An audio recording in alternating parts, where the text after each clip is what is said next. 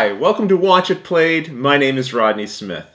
In our series, we take a game, we show you how it's played, and then in the following episodes, we play the game. And where possible, we put a seat at the table just for you, so you can play along with us and help us make some of the gameplay decisions between the episodes. By doing this, we believe that you'll be able to decide for yourself whether or not a game would be a good fit for you, your family, or your gaming group. In this video, I'm going to teach you how to play the 2 to 4 player game designed by Antoine Bauza and published by Asmodee, Takenoko. In the game, the Japanese emperor has instructed you to care for this giant panda, who was a gift from the Chinese emperor. You're going to have to manage plots of land, grow bamboo, and ensure this big guy gets fed. Sometimes he's going to take care of that himself and munch on your hard work. The player who manages these responsibilities best will win the Emperor's favor and the game. Now, this game comes in two different versions. The first was originally published in 2011 and is shown here. Then, in 2013, they released the Collector's Edition. It has the same gameplay, but larger components and comes in a beautiful wood box. I'm going to be teaching you how to play using the Collector's Edition. But if you have the original or are thinking of purchasing it, you can expect the same gameplay inside that box. So when we come back, please join me at the table and we'll learn how to play Takenoko.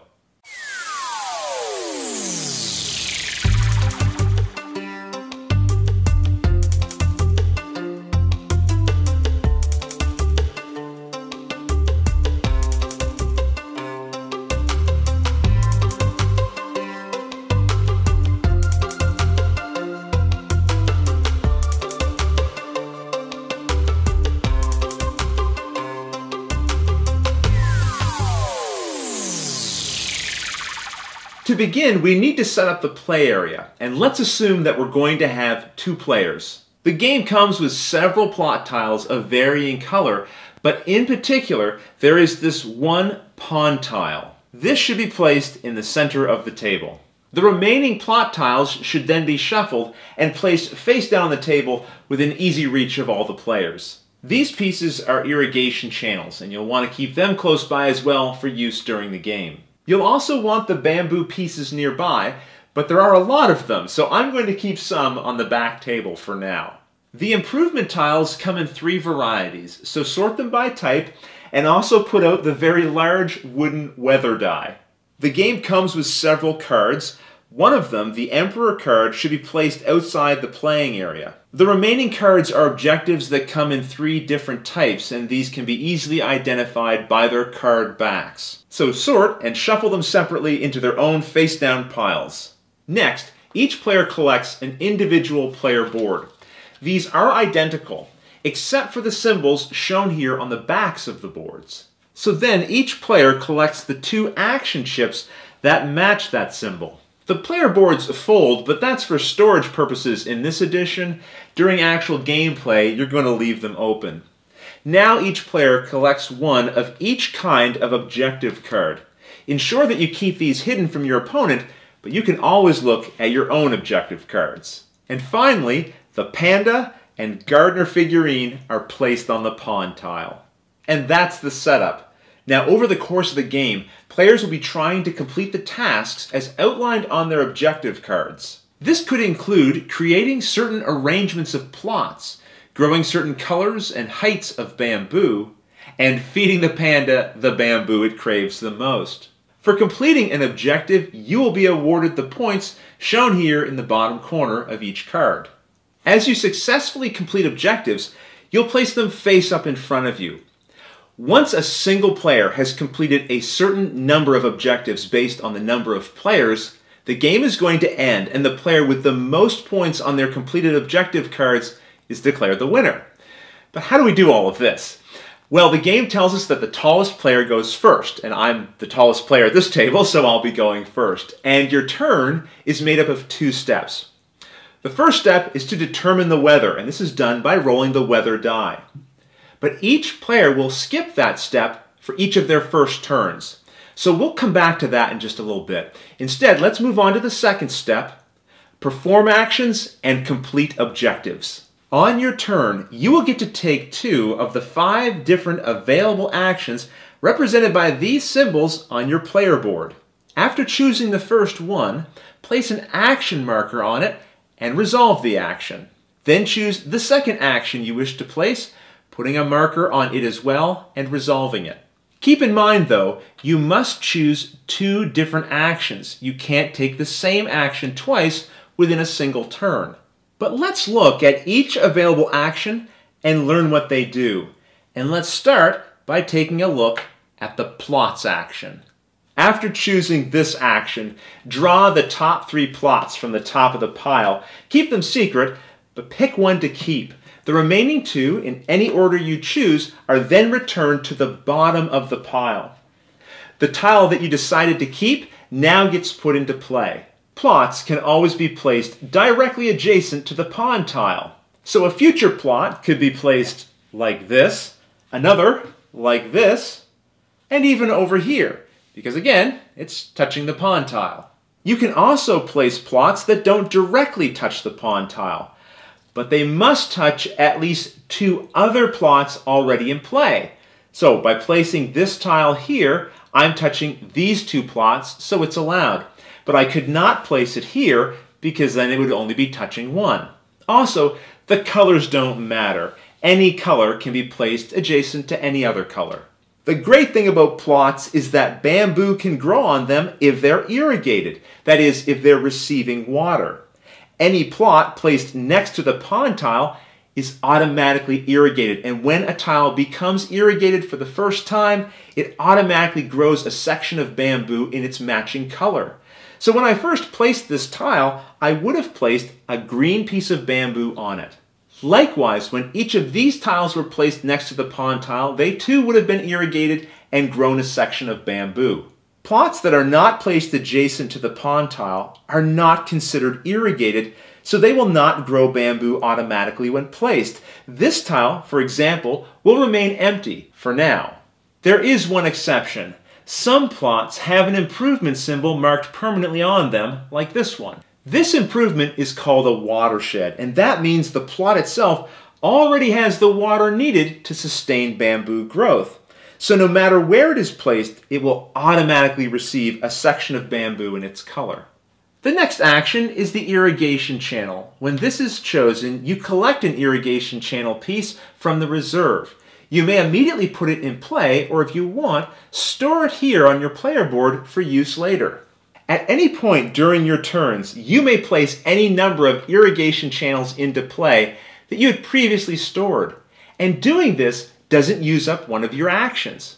As I said though, instead of storing the channel, you can choose to immediately put it into play. And to do this, a channel must be placed between two plots along their borders with one end touching the pond tile. So in future, another channel could be started over here because it is also touching the pond tile. A channel could not be started here because there's not a plot tile on either side. You also can't run a channel along the edge of a pond tile like so. Any player may extend a channel on a future turn, like this, as long as they stay connected to the original source, which is always a pond tile. Remember this watershed tile we saw earlier? These can never begin a new irrigation system. They only have enough water to spare for their own plot.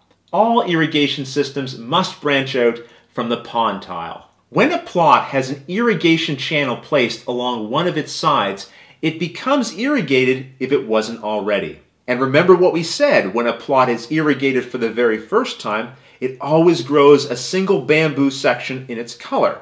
But this free spurt of growth only happens the first time it's irrigated.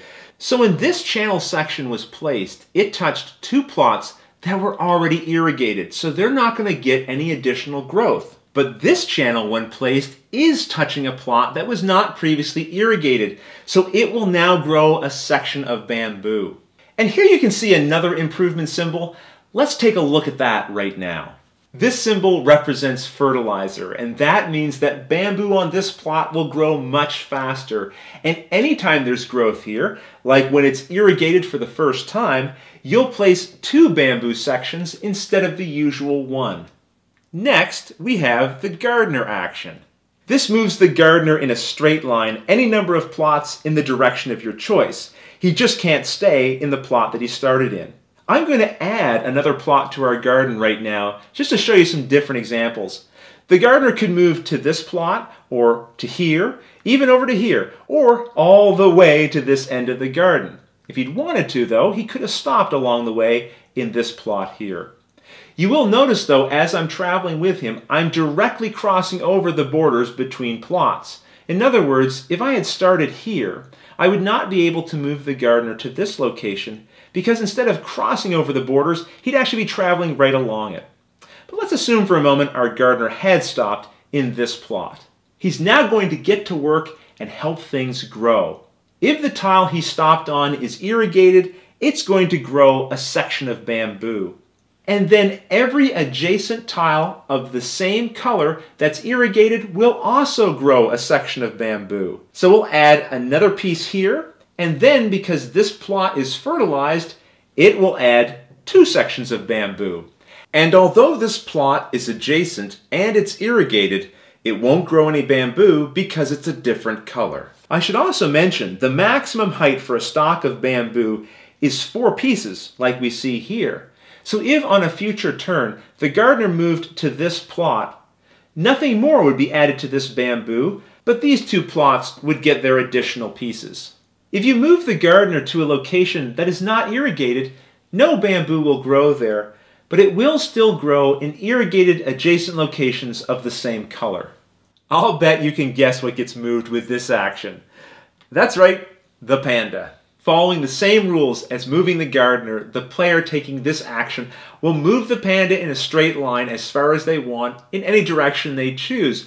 But when the panda stops moving, if there is any bamboo in that plot, he'll munch on the top section of it. You then collect that piece and put it on your player board. And there's a space right here for you to put all the bamboo that the panda eats on your turn. Now sometimes when I collect one of the bigger base sections of the bamboo, I'll instead return it to the reserve and replace it with one of the thinner stem pieces. Instead, it just gives me a little bit more room on my player board.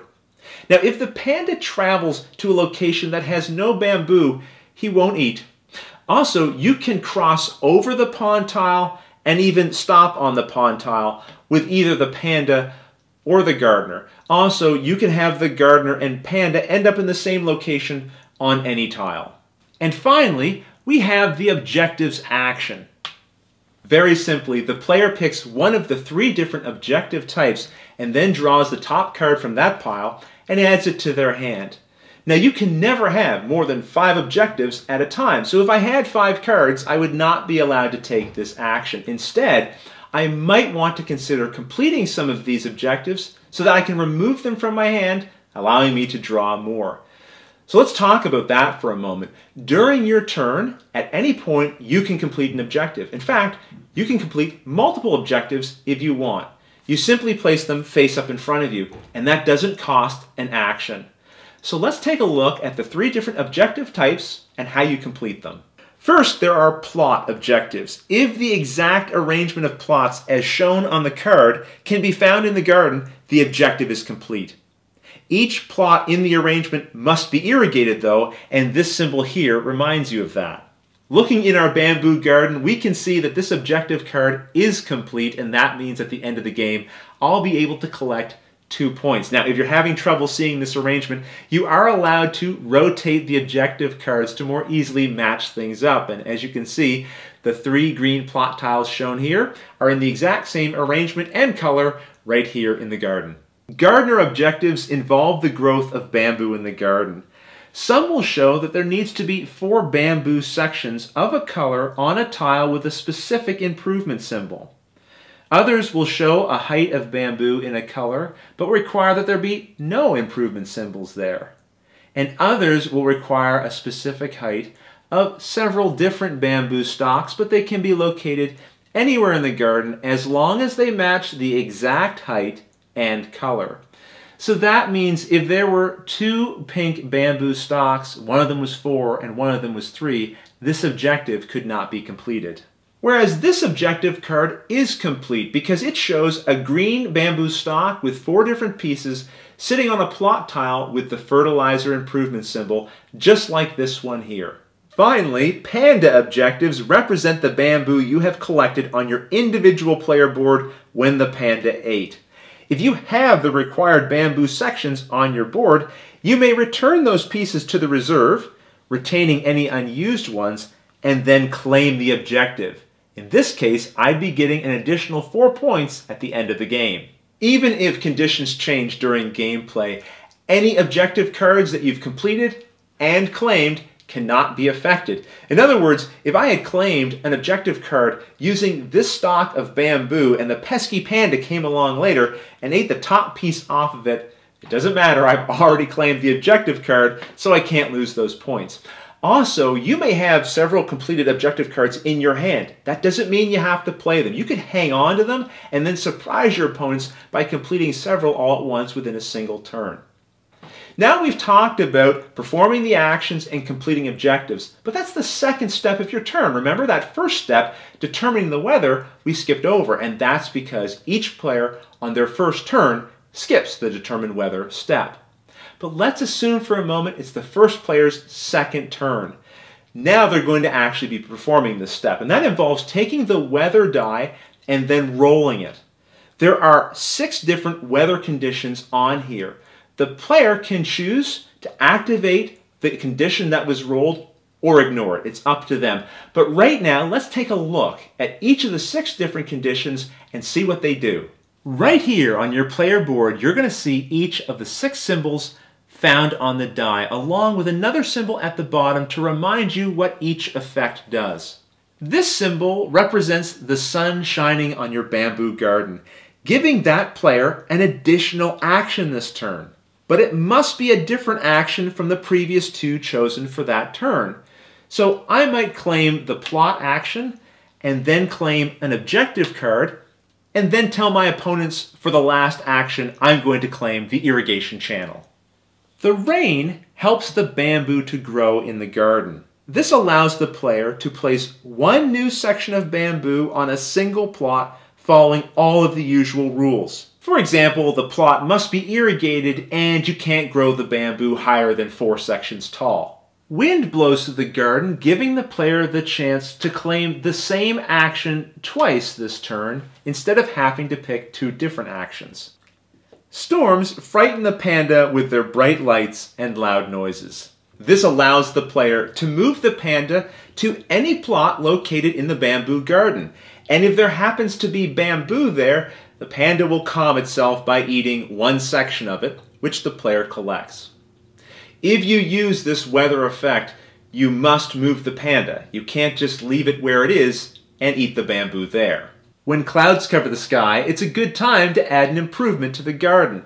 This allows the player to claim any one of the improvement tokens and add it to the garden. Or if you'd prefer, just like with the irrigation channels, you can claim it and then store it on your player board for use later. And just like the irrigation channels, you can play as many of them as you want that you have stored during your turn and it doesn't cost an action. When placing improvements, you can only have one improvement per plot, and some plots come with an improvement already permanently marked on them, like this one here. So we could not add one of these tokens to this location. You also can't add an improvement to a plot that already has bamboo growing on it.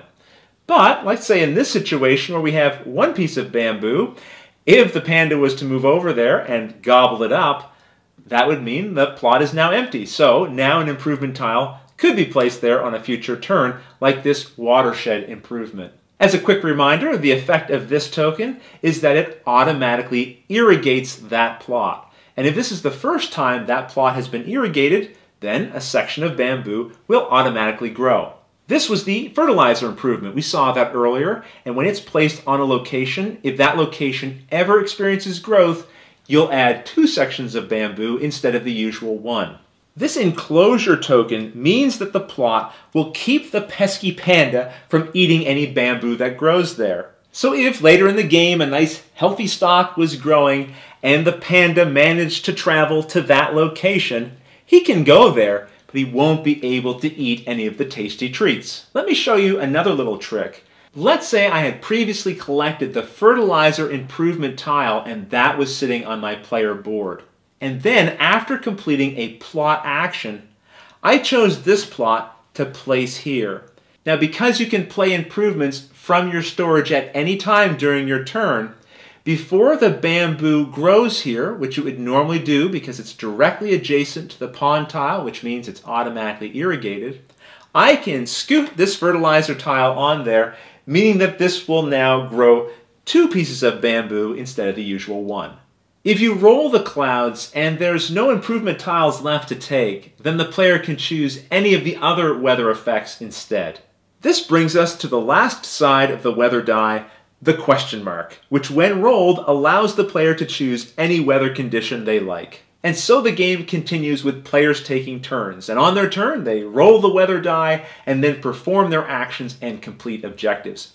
The game will end once a single player has completed a certain number of objectives based on the number of players. In a four player game, when a single player completes their seventh objective, the final round is triggered. For three players, it will require a player to claim their eighth objective. And then finally, in a two player game, nine objectives must be claimed by one player. The player who reached this objective total may continue claiming additional objectives during their turn if they have more to claim, but then they will take the Emperor card, which will grant them an additional two bonus points for finishing first.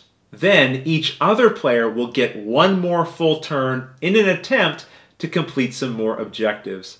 Then players will total up all of the points on their completed objective cards, and the player with the most wins both the game and the Emperor's approval. If there is a tie, like in this case here, with both players having a total of 26 points, then the player with the most points on their Panda objective cards is the winner so this player would win. If there had still been a tie, the players would enjoy a shared victory. Now, one thing I didn't mention yet is the optional advanced players rule. What this states is that if you draw an objective card, and what you see on the card is already complete in the bamboo garden, then you return that card to the bottom of the objective deck and draw a new card from any one of the other objective cards. Again, this is an optional advanced players rule. You can use it or you can choose not to, but let me give you an example of it. Let's say for a moment I had drawn this card here. I would look in the bamboo garden and I would see that these three tiles already exist right here and all three of them are irrigated, so this objective is already complete at the moment that I drew this card. So I would return it and draw a new one from the same or a different pile. And now just some final points. There are slightly more green plots than there are yellow and slightly more yellow than there are pink. Also, if you happen to run out of a particular color of bamboo, which is probably not going to happen, but if it does, then you can always use one of the other colors to fill in if necessary. And when you're using that plot action over the course of the game, this pile is going to get smaller and smaller. Once you get to just two remaining, then when you take the plot action instead of drawing three, of course, you can only draw the two that are here. You pick one, you put the other one back. Then the next person who uses the plot action will just have to take the final plot. Now, no one can use the plot action from that point forward. Well, that is everything you need to know in order to play Takenoko. If you have any questions at all, please don't hesitate to ask them in the comments below. I'd be happy to answer them as soon as I get a chance. And I hope you'll return because we are now going to start some more videos where we actually play through the entire game. You'll be able to see how it really works, get a sense of what it feels like to be playing it, and between each gameplay episode, we're going to give you an opportunity, along with your fellow viewers, to vote on what gameplay decision needs to be made next. So you'll be able to participate as well. But until the next episode, thanks for watching.